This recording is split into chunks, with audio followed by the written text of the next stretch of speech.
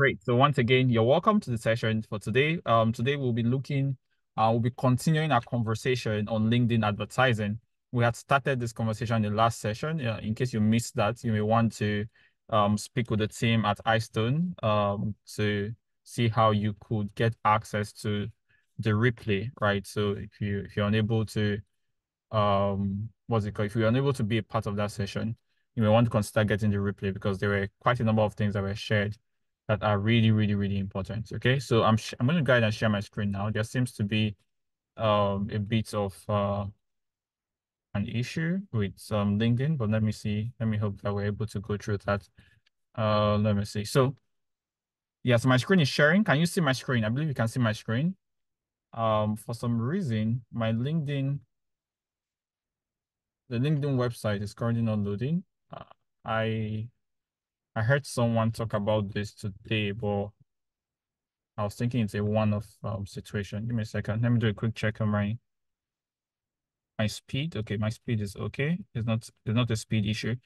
Um, so while while we wait for the LinkedIn website to come up, um, I think it should very quickly. I'll just do a little bit of a, a recap on some of our conversations so far, right? So we had started talking about ads. We had talked about the three various levels okay, when it comes to Facebook ads. Um, we had talked about that.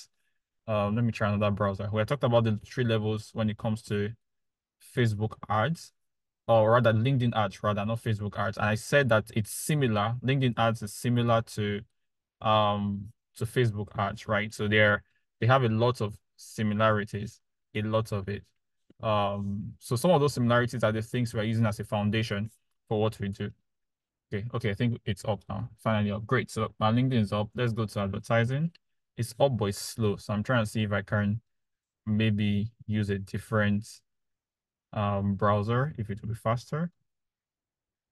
Okay, so all right, let me sign in with a one-time link very quickly. For some reason, the, the Chrome browser is a bit slow today, right? So um, but we're going to advertising. That's where we're going to. Let's see if that place will be faster to open. The campaign manager. Our focus for today, for the next few minutes, um, about 40 minutes or so, would be how to how to put together an ad creative that will be highly converting.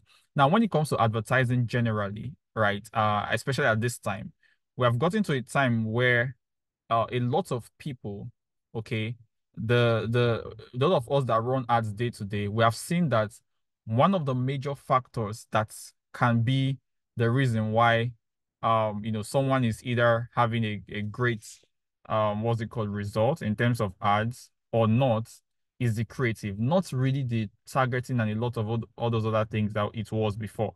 So there's a time when if you want to get a great result you must be using certain kinds of targeting. You must be able to know how to go about targeting in this way or targeting in that way right? So that, that was actually a time but we have gotten to, to that time where those that are those that will get the best results from advertising are not those that have the best of targeting, but those that have the best of creatives. Because and the reason for that is because um, artificial intelligence and so many algorithms have been able to help create. Let me stop sharing my screen while, while I try to put this up. Have been able to help create um a better way to target people.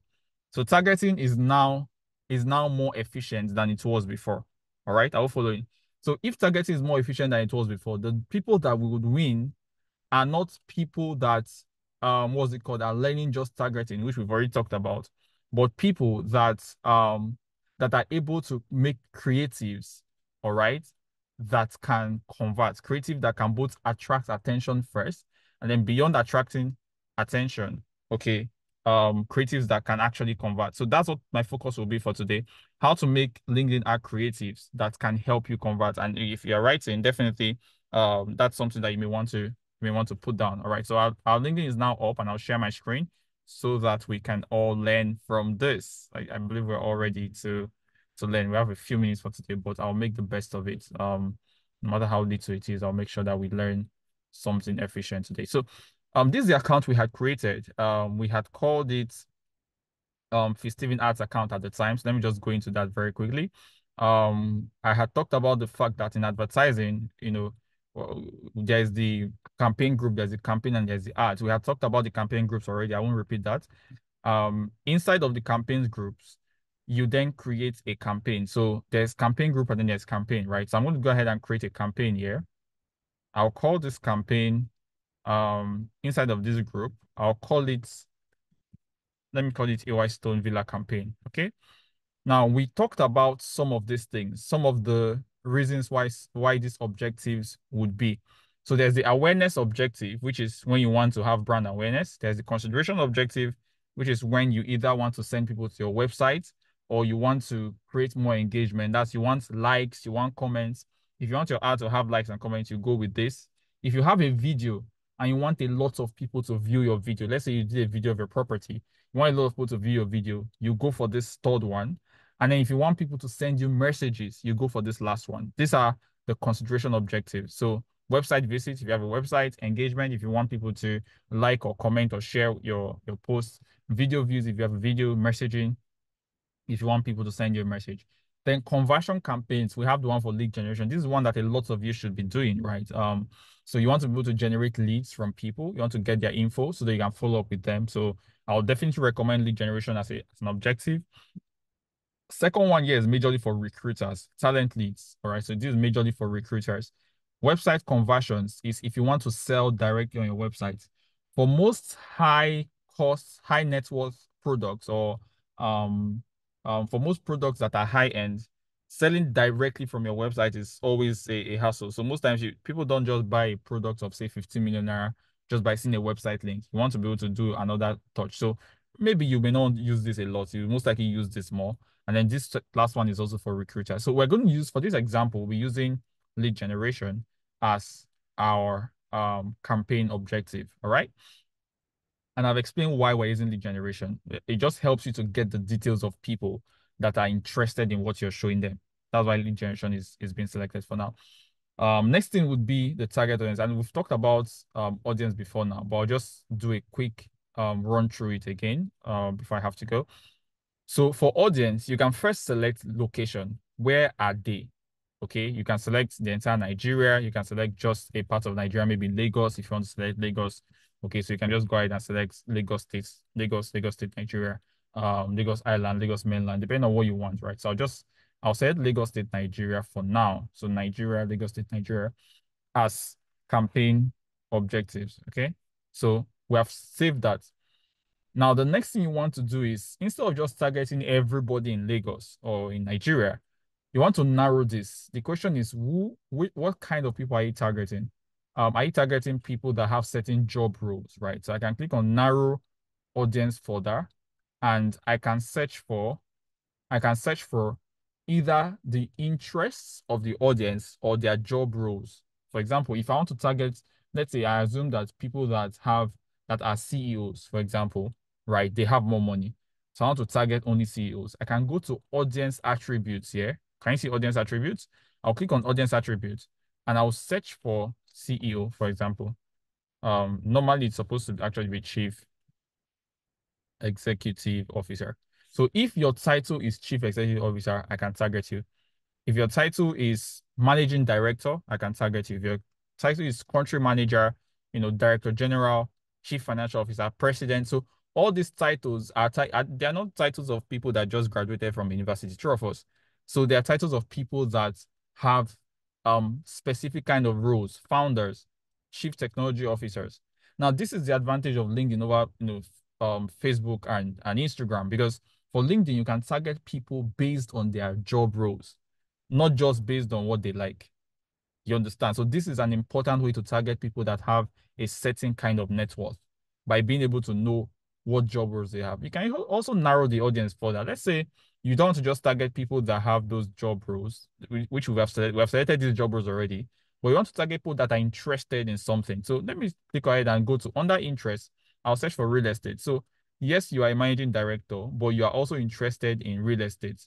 So I can, I can also search for, um, so real estate, right? So the person is this, all right, and also has an attribute of real estate, like maybe the industry of the person. That's an option. But if I want to remove this, I can also go ahead and target instead of this, right? Let me click on close. I can target people based on other things they are interested in. Okay, so there there's always the there's always you trying to target people based on either their their their job title, their industry, or their skills, right? Then there's also targeting people based on what some of the things that they are interested in, right? So what do you think this type of people would be interested in? These are the things, these are the questions you need to ask, and those are the selections that you need to make around this space. When you're done with that audience, because these are some things you you go to select, I think what, what I'll do is I'm going to make a list of possible targeting that you can use for as a as a realtor, and I'll most likely send that to um to the team at, at Eystone so that you guys can have some possible target audiences that you can use for your campaigns. Okay. Um, so I'll send that across. Now that that list will not be exhaustive, so don't just depend on it. All right. Um, use it as a base, but expand upon it. The good thing is that you can always ask for suggestions um from LinkedIn. LinkedIn also gives suggestions. Okay.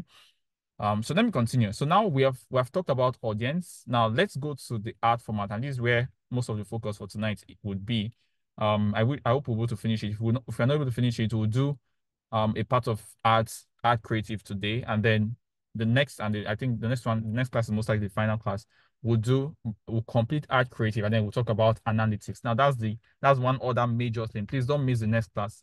We'll be talking about analytics, how to analyze using LinkedIn ads. All right, and we are like um we are five minutes away to the end of the session, so how to analyze LinkedIn ads is one of the things to talk about in next class. Now, when it comes to ad formats, right, there are different ad formats you can use. Okay, um, different ad formats. You can use the single image ad format. Single image ad format is um is actually an ad format that allows you to run an ad using just a picture, using maybe a picture, a flyer, provided is one image.